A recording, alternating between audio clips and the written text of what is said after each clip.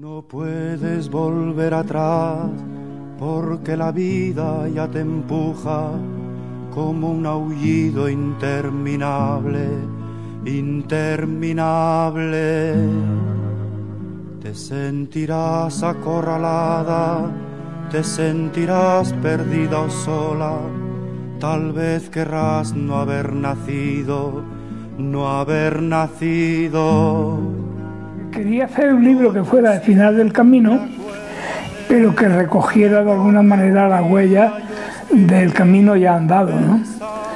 Y entonces, bueno, pues se me ocurrió este proyecto que, que es un proyecto que trata sobre 13 poetas, eh, sobre 13 canciones, eh, creadas sobre textos de esos poetas, pero 13 canciones muy especiales, son 13 canciones que han volado muy alto, es decir, que, que, que, han hecho muchas versiones en todos los géneros, en flamenco, en rock, en canción de autor, en música clásica, en música coral. Y, bueno, y que son canciones que todo el mundo conoce y que demuestra que la canción, el encuentro entre la música, la palabra de los poetas y la música, eh, pues ha hecho que las canciones volaran. ¿no?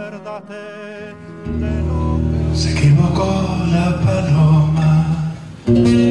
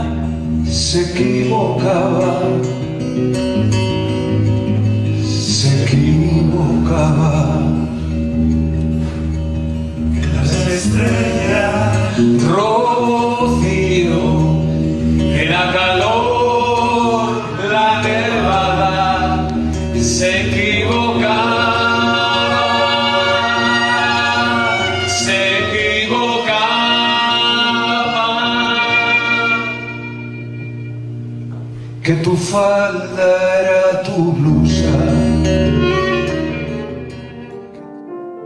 Bueno, y esto mm, asociado a un recuerdo entrañable de Alberti. Alberti era un poeta, bueno, yo le conocí, eh, fuimos amigos, aunque nos vimos poco tiempo, por pocas circunstancias, pero hablamos mucho de canción. Eh, era un hombre que, que confundía y que asociaba la música con la canción y la canción con la música. Era aquello que cantan los poetas andaluces de ahora, ¿no? Entonces, eh, él me contaba una anécdota y es que él escribió uno de sus poemas más famosos, más populares, La Paloma. Lo escribió cuando tuvo que exiliarse a París. Él se fue a París a casa de, de su amigo Neruda, que le dio hospedaje a él y a la mujer. Entonces tuvo la suerte de llegar a París y entonces en Radio Francia eh, consiguió tra trabajo para poder comer. y entonces se colocó por las noches, daba los noticieros en la televisión francesa.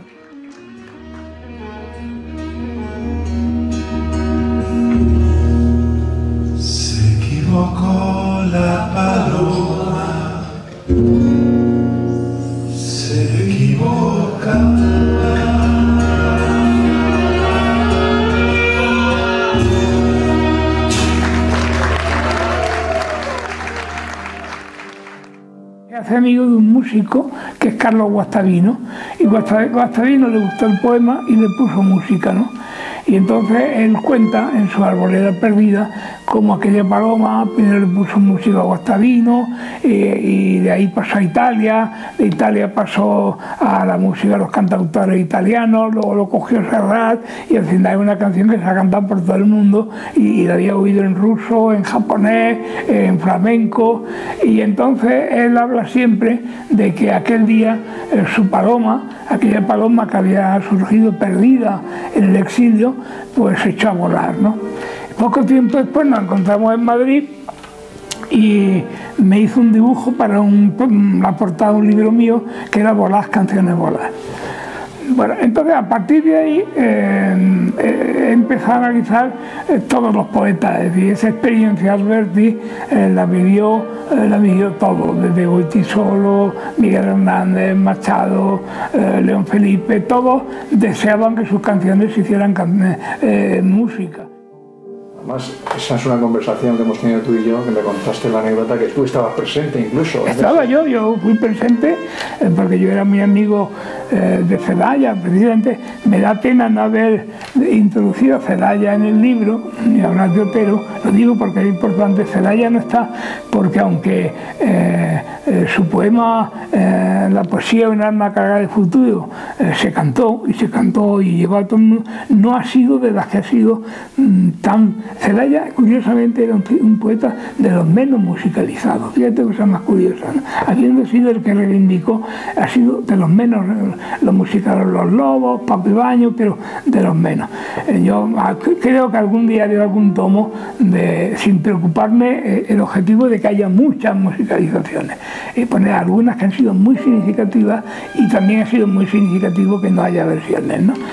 Eh, y efectivamente eh, acudieron a Paco Ibáñez para que Paco Ibáñez, eh, bueno, y a partir de Paco Ibáñez mm, se, se, desencadenó, pero en el proceso de investigación me he dado cuenta que previo a todo eso, y esto es previo, los poetas mm, intelectualmente estaban muy unidos a los músicos contemporáneos, es decir, eh, a Falla, a Monpó, es decir, estaban, estaban muy unidos.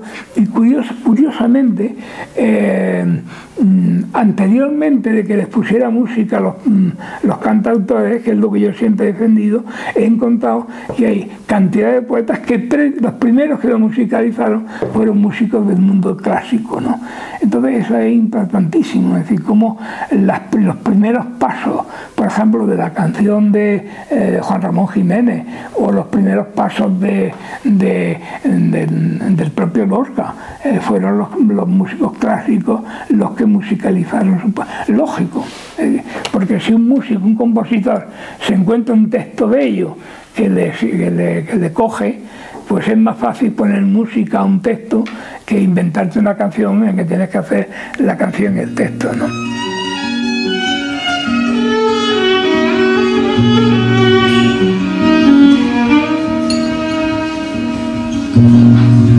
Me gustas cuando callas porque estás como ausente y me oyes desde lejos y mi voz no te toca.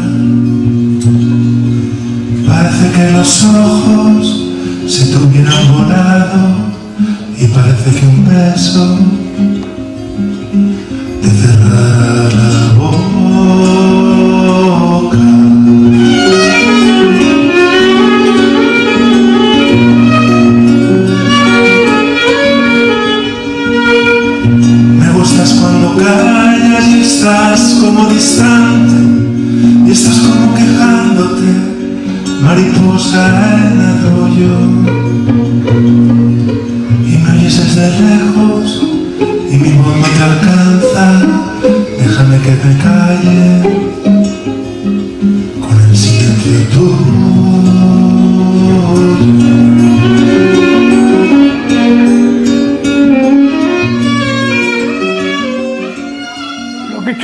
seleccionar 13 canciones como la del Berti de alto vuelo, eh, hablar de la canción, contarla y luego añadir un apéndice con toda la biografía de todas las versiones que se han hecho en el mundo de cada una de esas canciones. Algunas 200 versiones, otras 100, en fin. Eh, y bueno, y construyendo ese relato, porque eso es un relato literario, pues me han ido surgiendo recuerdos y entonces, en, torno a cada canción, pues hay un conjunto de recuerdos que me han venido. Ya cuento, por ejemplo, anécdotas de cómo la muralla, por ejemplo, un día eh, escribiendo la biografía de Carlos Cano, eh, Carlos Cano me, dijo, mira, he compuesto una canción que se llama El baile de la abejorro. Y entonces la oí y digo, oye, esto me parece, me suena algo. Y dice, no, sonará la muralla. Igual que yo admiro a, Nicolás Guillén. Entonces, inspirándome en, Nicolás Guillén, he sustituido la muralla por un baile, un baile andaluz, un baile popular. Y entonces aparece una canción que es prácticamente la muralla en andaluz y en otro contexto cultural. Bueno, eso eh, nadie lo sabe, es decir, eso es un recuerdo que tengo yo de una conversación que ni siquiera lo escribí. ¿no?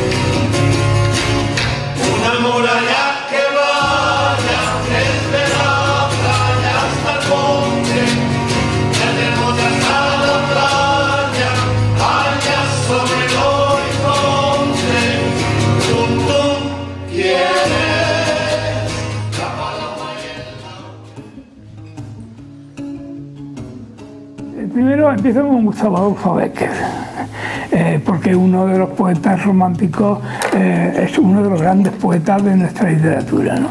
Y he elegido un poema eh, que a mí me, yo aprendí siendo muy jovencito, adolescente, que Volverá a la oscura golondrina. Yo tenía un profesor de literatura que me lo hizo aprender, que amaba a Becker, y cada vez que hablaba de Becker, es que, bueno, a mí me hizo amar a Becker.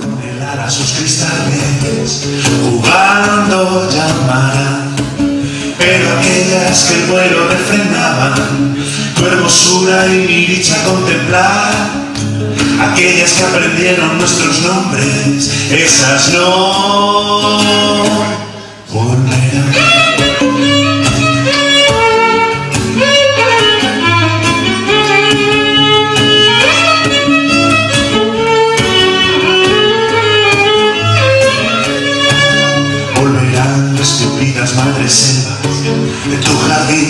Tapias a escalar y otra vez a la tarde aún más hermosa sus flores se abrirán pero aquellas cuajadas de rocío cuyas gotas mirábamos temblar y caer como lágrimas del día esas no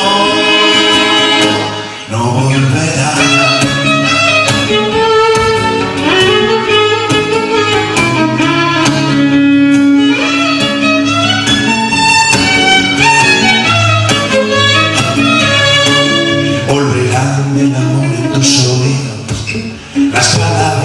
ardientes a sonar tu corazón de su profundo sueño. Tal vez despertará pero mudo y asoto y de rodillas como se adora a Dios ante su altar. Como yo te he querido desengañarte así no te quedará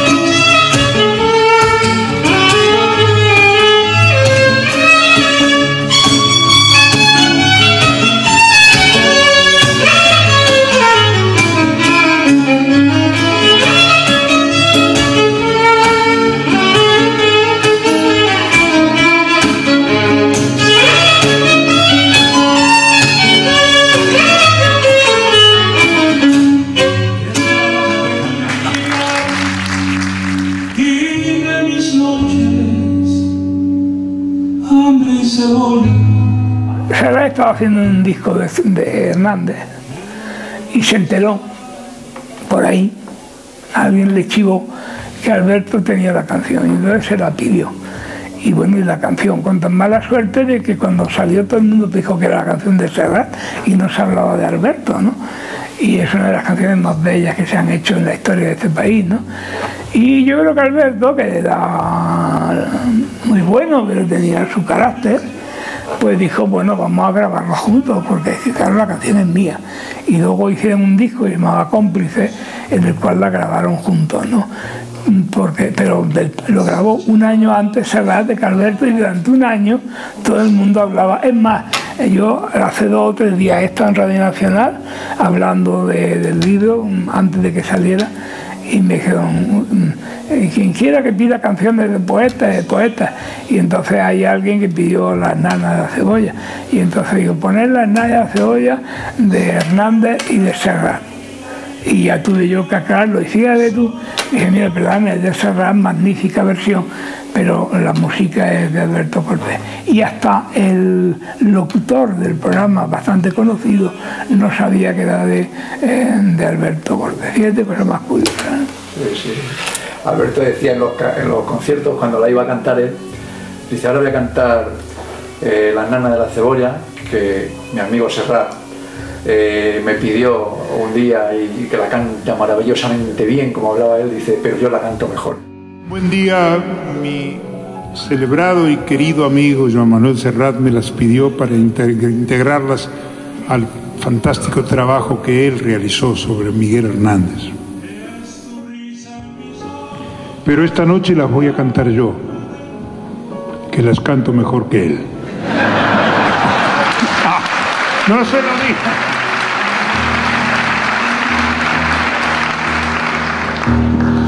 Eso mentira, pero bueno. Y bueno, y cuando cuenta él, que en el libro lo cuento, la historia de la canción, que surge de un paseo por el mar y había en un barco un, marinero tocando la guitarra y entonces aquella melodía lleva a su casa, cogió un libro, bueno, tenía sueño y mira por dónde aquel libro era un libro de Hernández, ¿no? Y encontró la, eh, las nanas y se acordó de la música del marinero nostálgica en el, en el barco antes de echarse a la mar y entonces con aquella melodía y el contenido del poema, aquella noche hizo la canción y aquella noche se lo dio por piedra a su mujer. ¿no? Con la facilidad que componía Alberto. ¿eh? Por eso digo que es una historia muy bonita de la nada cebollana. Más victoriosa.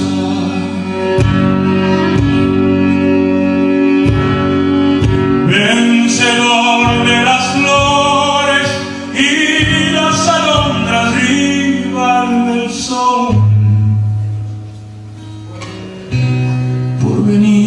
de mis huesos y de mi amor.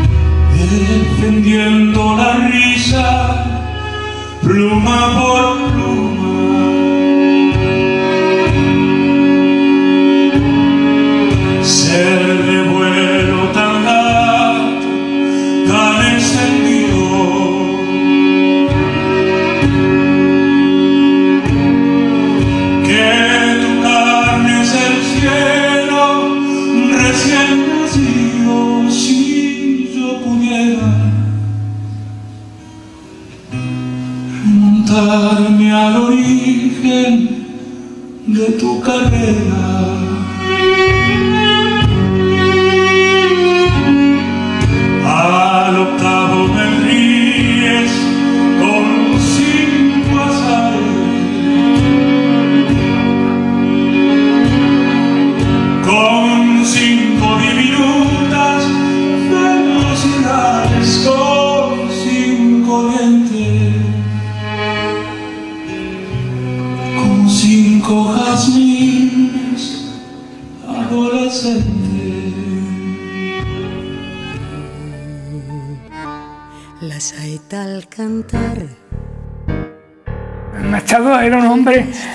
de una inquietud religiosa muy grande, aunque era, eh, aunque era un, eh, era un hombre dudante. Eh, yo siempre cuento, creo que te lo he contado alguna vez, aquello de Atahualpa, ¿no?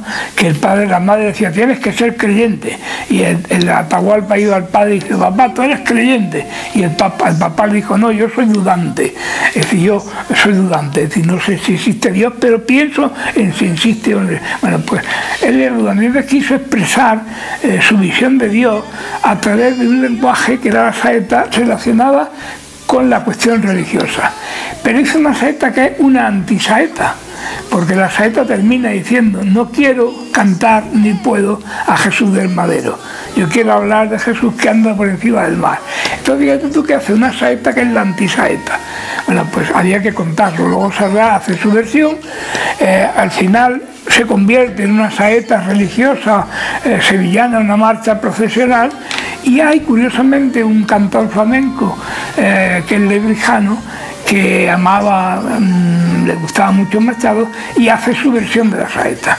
y es una versión que empieza con unos versos de Tagore eh, reivindicando la vida contra la muerte, ¿no? Y entonces hace la verdadera saeta. Bueno, curiosamente, curiosamente, eh, de, de encontraremos 300 versiones de, la auténtica saeta del Lebrejano, solamente está su versión, lo cual te, hace ver un poco cómo se puede manipular al poeta. Cantar de la tierra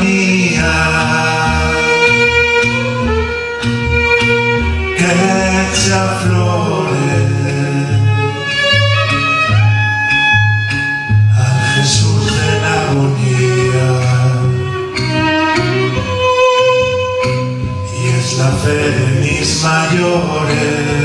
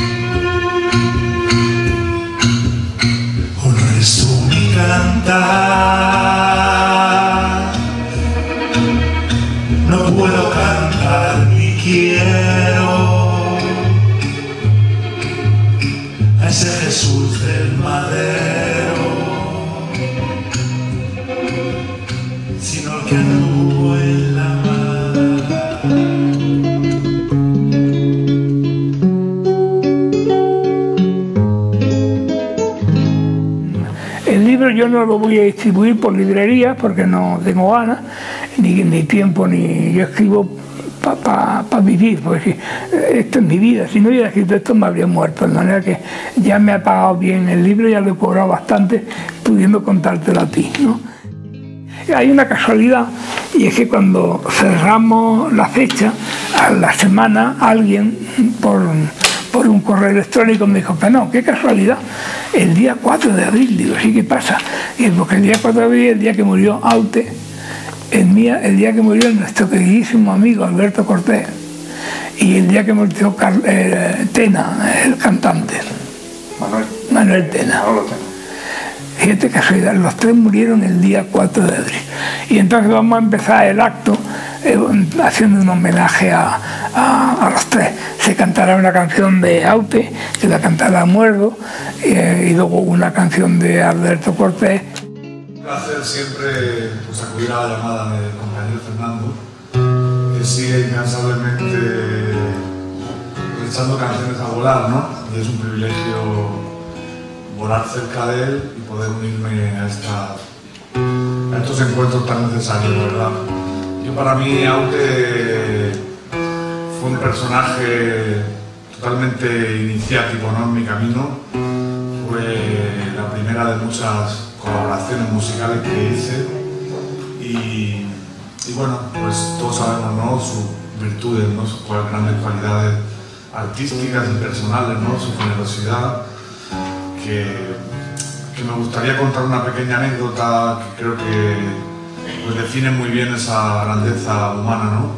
Eh, cuando yo presenté mi primer disco aquí en Galileo Galilei, eh, Eduardo estaba, estaba malito, no sé, tenía algún pedo en el riñón o alguna cosa así, y sin embargo, contra todo pronóstico, apareció por aquí solo, además, se bajó del taxi eh, y se subió aquí conmigo, con un chaval de 21 años que acaba de grabar su primer disco a cantar ¿no? conmigo y esa fue una de las muchas muestras de, afecto y de generosidad que tuvo.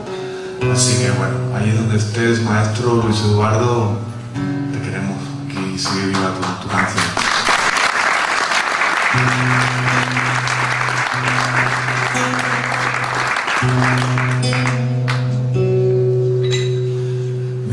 Dice el corazón que no soy este planeta que caí de algún cometa fuera de circulación o acaso sea un clon de algo así como un salvaje que articula un lenguaje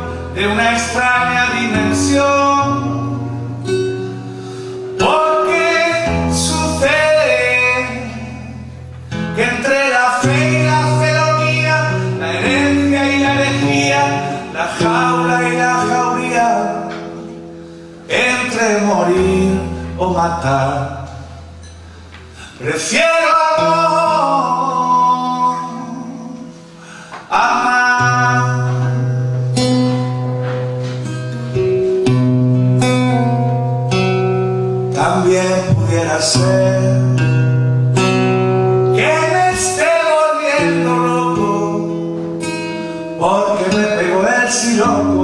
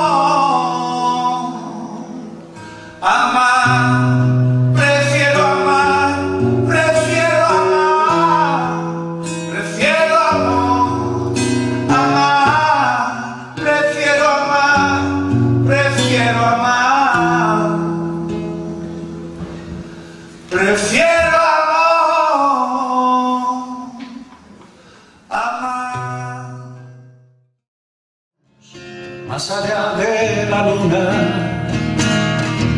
cuando llegue la nieve a congelar el grifo de la respiración. Ahora toca seguir,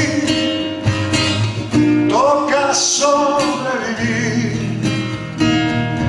En el buzón del tiempo he dejado estos versos diabo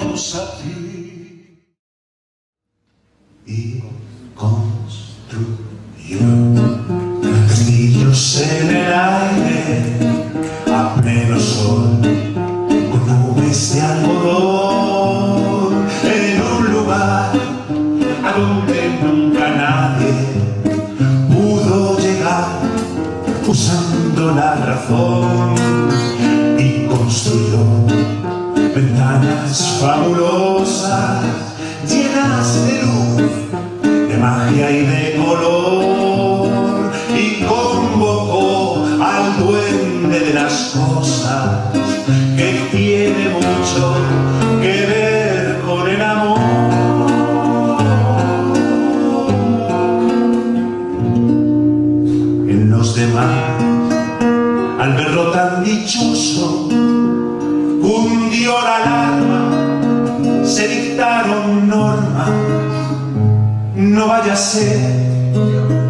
que fuera contagioso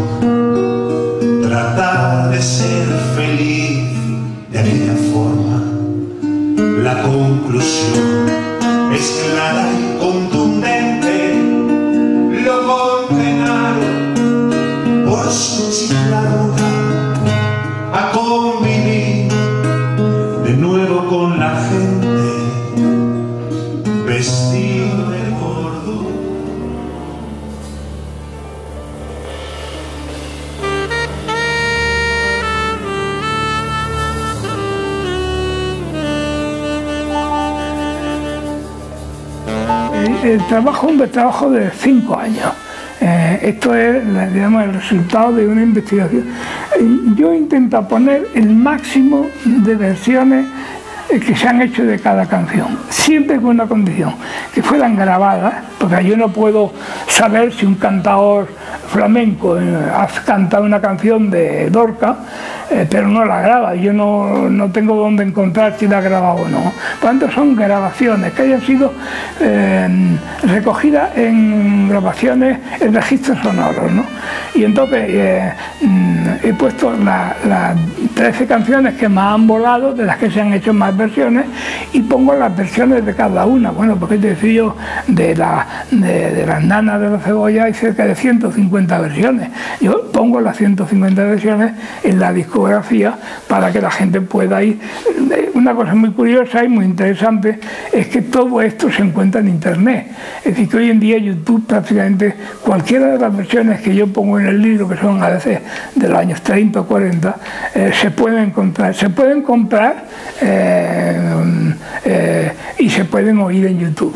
Es decir, que por tanto se pueden comprar en iTunes y se pueden oír en YouTube. la idea es que tú leas el capítulo y luego cojas la discografía y ahora voy a ver esta versión, esta versión. Y una vez que dominas el texto y la intención y el contexto en el que fue escrito, pues disfrutas más con la canción. Digo disfrutando, por ejemplo, la saeta, eh, si no sabes la historia, la disfrutas menos. Eh, si ves de que te quiero verde, pero que es un culebrón de Lorca, es un auténtico, con sus guardias civiles incluidos. Eh, entonces es un culebrón maravilloso de Lorca. pero claro, hay que conocerlo para entender realmente la simbología, las metáforas que los poetas utilizaban para eso. Mi cómplice y todo, y en la calle codo a codo, somos mucho más que dos. Mario Benedetti eh, se exilió, como sabes, tuvo que exiliarse eh, y marcharse a Argentina. ¿no? Mario Benedetti estaba enamoradísimo de su mujer, amaba a su mujer cuando él tuvo que exiliarse, mm, la mujer, los padres de él y los padres de ella que vivían en Chile eran muy mayores y entonces ella, mm, estando casado, se quedó lógicamente cuidando a los padres porque eran unos ancianos y él se marchó a Argentina. En Argentina él tenía muchos amigos, entre ellos estaba Nacha Guevara y, el marido de Nacha Guevara, Alberto Fadero, que es un gran compositor. Bueno, pues él mm, eh, desde eh, empezó a escribir un poema que se llama Te quiero, que iba dirigido a la mujer a la que amaba. Eh, es una historia de amor la de la de, la de Benedetti mm, impresionante. Ya lo verás.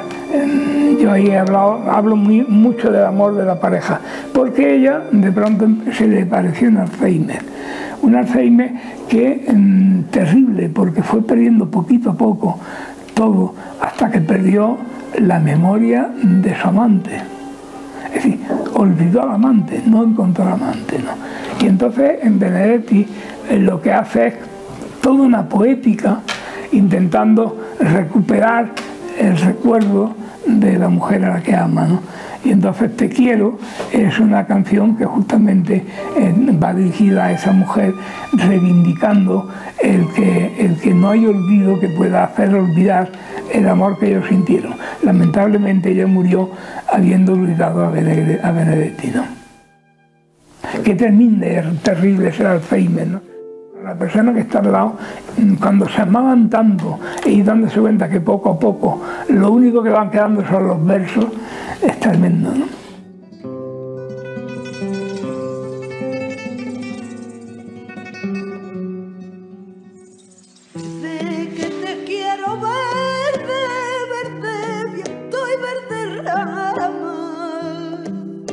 El romancero eh, sonámbulo que Manzanita lo convirtió en verde que te quedó verde, pero que no tiene que ver nada con, con, Lorca realmente, aunque hay luego versiones mm, que se hicieron como la que hizo eh, los juglares, etcétera, que sí que es Lorca, pero Manzanita hizo una cosa muy superficial. Y le hago una crítica. Verde que te quiero verde, verde viento, verde rama, el barco sobre la mar y el caballo en la montaña verde que yo te quiero verde, sí, sí. Tú no puedes volver atrás porque la vida ya te empuja. Y finalmente, una de las canciones más hermosas de nuestro canto popular, que es de Goiti Solo, eh, Palabras para Julia, que lo musicalizó eh, eh, Paco Ibáñez y que hay otras muchas versiones, y que es una canción que teóricamente él escribió a la hija, pero que la escribió la hija, pero la hija nunca la entendió. En el fondo era una canción, yo digo que es una canción que tiene dos lecturas, es lo que a él le habría gustado escuchar de la voz de su madre, que murió eh, de un bombardeo en Barcelona en la guerra civil, y yo esa canción eh, mm, la suelo llamar también, no palabras para Julia, eh, sino palabras para Agustín de Julia. Julia era la mujer, ¿no? era madre, perdón. Yo pienso que es el poema que a él le habría gustado que su madre le cantara y, y bueno, luego la hija de mayor ya lo entendió y lo aceptó, pero es un poema que, eh, que es de una belleza.